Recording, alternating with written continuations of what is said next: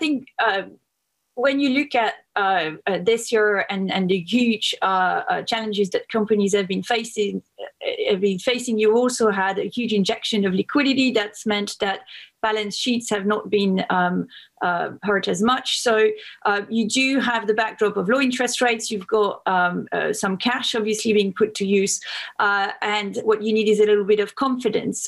what we tend to see is when we look at previous mar- stock market recoveries, and we've had global stock market up 40% uh, since the beginning of this year.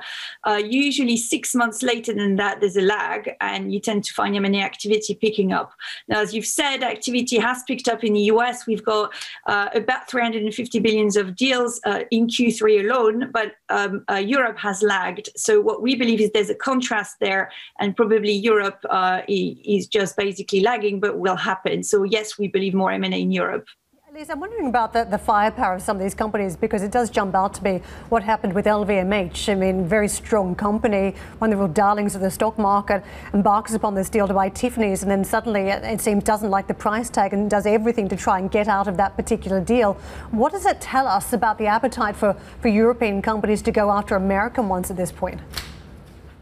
Um, I think there is a valuation gap, obviously, and uh, what we look at really uh, uh, in our latest uh, uh, reports and work is we look at that valuation gap, and actually European companies, on average, 20, you know, they trade at about 15 times um, 2021 PE, uh, whereas the US counterparts are around 21. So you do have that valuation gap, and the US ones trade higher than the European ones. That that's the fact. So what we looked at w- w- was you know more activity coming from Europe from that perspective. Now, in terms of various sectors and the motivation for consolidation that what that's what we look at. And i think you need to really distinguish between the motivations uh, and they're completely uh, uh, completely opposite in some cases. So you have the hugely defensive uh, motivations for some sectors and that's going to be the challenge sectors by the covid-19 crisis accelerated trends that we've seen before.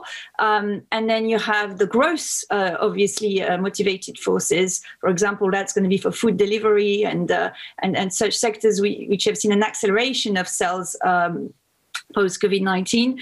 Uh, and then finally, uh, you tend to have as well uh, some sectors where the activity will anyway remain muted. I will take the example of pharma there, where actually we see the emergence of national champions. And obviously, it's a hugely strategic sector at the moment uh, where nations want to keep their champions and certainly won't let much happen in our view. So we expect bolt on on that. So those three cases are very different.